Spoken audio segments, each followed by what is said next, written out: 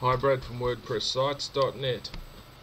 This video is about uh, categories, uh, tags, um, and slugs. Now, it, uh, it took me a while to work this out because I've been focused on so many other things, but you can't have the same slug, and this is a slug here. Okay, this is a category slug you can also have post slugs and page slugs, and it's all part of your permalinks, which are unique uh, URLs to each page, to each post, to each category, to each um, to each tag. You can't have the same name here. It has to be unique.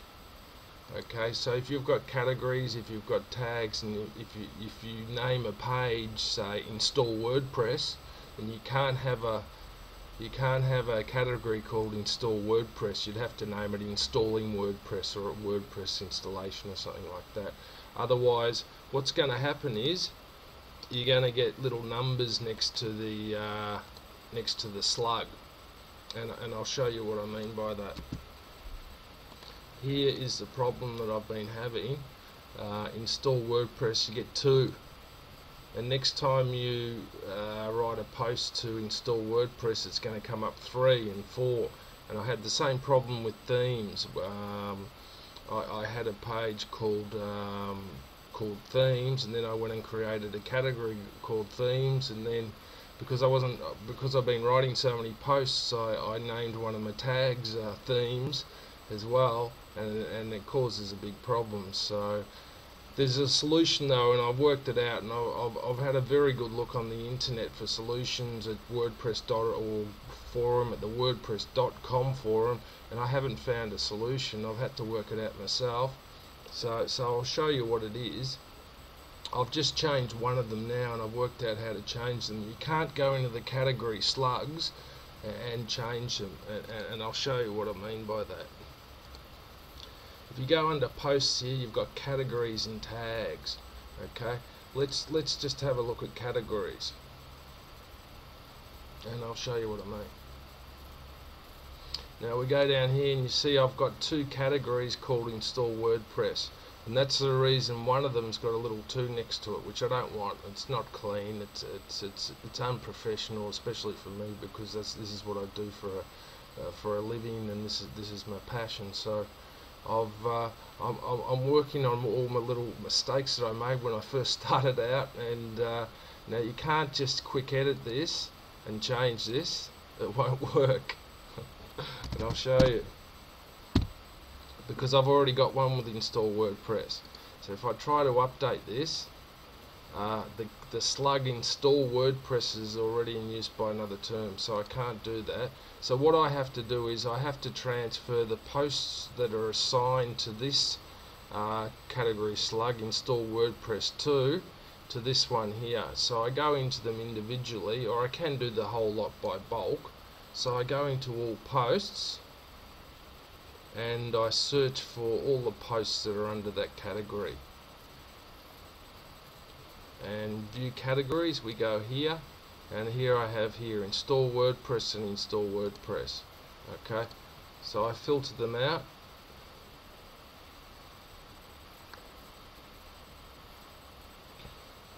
Now I've got two here. Um, what you can do is you can highlight both of them uh, bulk actions and edit or what you can do is just do them individually I think it's better off if you've only got a couple to do them individually. So you can see here I've got the problem here as well with this one. I've got a little 2 next to it. So what I do is I go down under categories here, deselect that one, and move down to the the one that's just simply installed WordPress that doesn't have a 2 on the end, and update. Now WordPress has got a built-in redirection um, system that'll take care of this. I, I don't think you have to install the WordPress redirection plugin and, and I'll test that and you can see that's changed. It's taken the 2 out but, I, but I've noted it before and uh, and where is it? Install manually using the five-step process. So here here it is here and this is what it was like before. It had a little 2 next to it okay so it's taken that 2 out and assigned it to the to the correct category. So I'll just test it. Okay I've got one in here already. And that's redirected to the correct category now and it's exactly the same post and I'll test this one which I've just changed.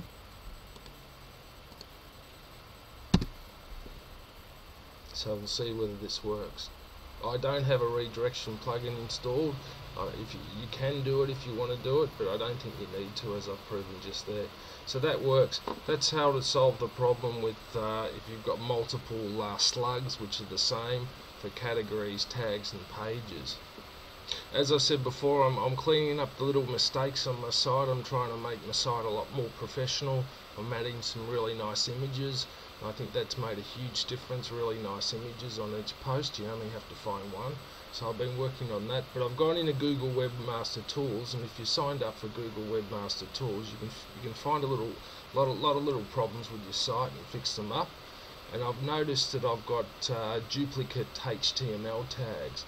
Now this is pretty important for SEO. This needs to be fixed. I actually worked on it uh, yesterday a little bit, but I've still got a few here. And you can see here, I've just worked on install WordPress on the uh, the category slugs, and I've got another one here, install WordPress 3.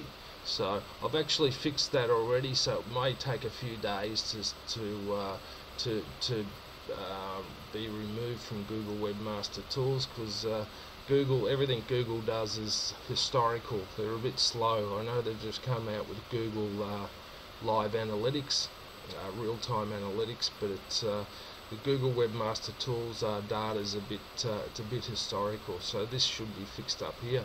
But this is a good way to find out whether you've got duplicate duplicate tags, HTML tags and you can check to see if you've got any slugs uh, in, your, in your post post tags uh, to see whether they've been duplicated in categories as well.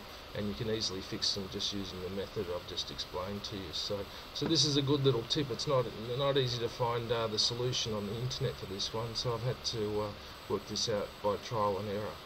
Just just another little tip before I go um, in, in respect of SEO um, I've, I've, I've realised that, uh, and, I, and I'll put it here under hosting because uh, I, I make money as an affiliate um, referring uh, clients for hosting, but you can do this for all your categories and uh, you can put a description in here, a unique description that relates to the, the content of all the posts under that category, something that's like a general description, put a few keywords in there um, and you can do this for all your categories. And this this this will help you. This will give you a bit of an edge for SEO on your competition that hasn't done it. So so you can quite quite easily go to categories under posts and you can come down here and uh, under description you can put a, a, few keywords in there to describe what the content of all the posts are under that particular category. So that'll help you with SEO